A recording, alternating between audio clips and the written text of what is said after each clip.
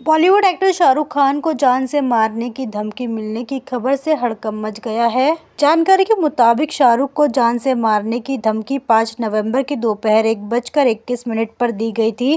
फैजान नाम के शख्स के नंबर से मोबाइल के बांद्रा पुलिस स्टेशन के लैंडलाइन नंबर पर कॉल किया गया था।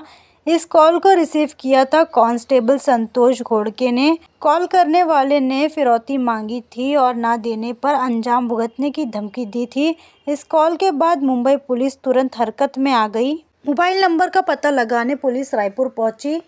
मुंबई पुलिस के सूत्रों के अनुसार, जिस शख्स के मोबाइल से बांद्रा पुलिस स्टेशन में शाहरुख खान के लिए धमकी भरा कॉल आया था, दरअसल उसका मोबाइल चोरी हो चुका है। जी हाँ, पुलिस ने बताया कि फैज़ान खान नाम के इस शख्स ने मुंबई पुलिस को बताया कि उसने अपने मोबाइल चोरी होने की शिकायत भी दर्ज कराई है।